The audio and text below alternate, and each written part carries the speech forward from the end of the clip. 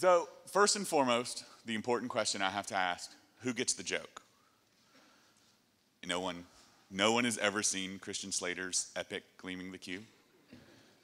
All right, well, that's lost on all of you, and I feel bad about that.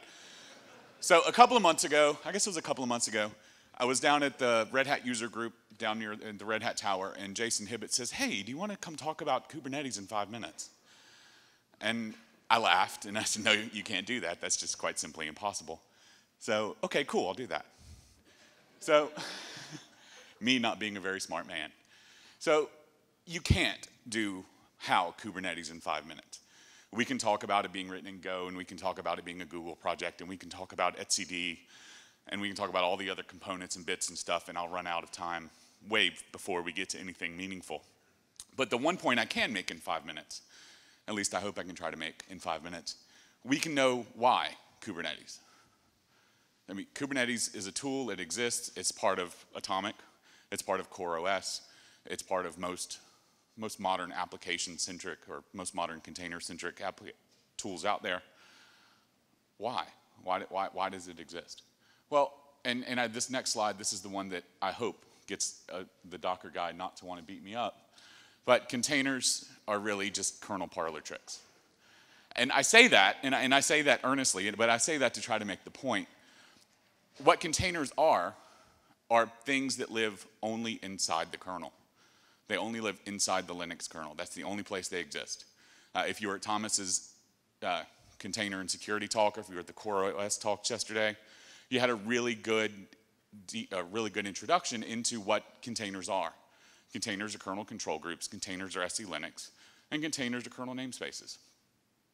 So if everything that a container is is inside the kernel, how does it know when I want my application to span three servers or three data centers or three planets or whatever? How does it know what's past that? And the answer is it doesn't. Containers only exist inside the kernel. That's it. So to have to, to be able to scale out a modern, highly resilient, all of those fun buzzwords application, we have to have Kubernetes. We have to have a tool that will take my kernel and take four other kernels or 40 other kernels and glue them all together and let me see them as one abstracted out whole.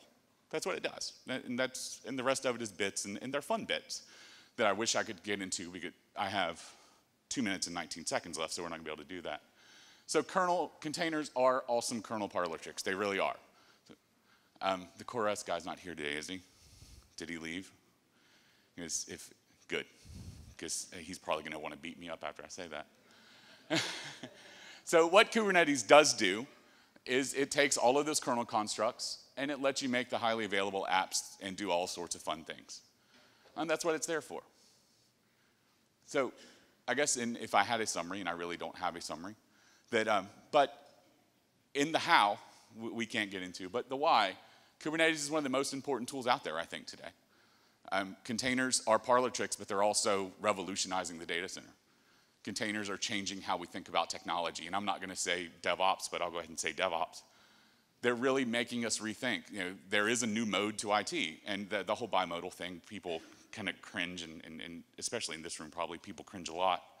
But it, it's making us rethink how we do software, and it's making us rethink how we deliver software. So we have to have a tool that's going to get out there and let us let us make that next step, and that's what Kubernetes is. I think it's a really good I think it's a really good start to it.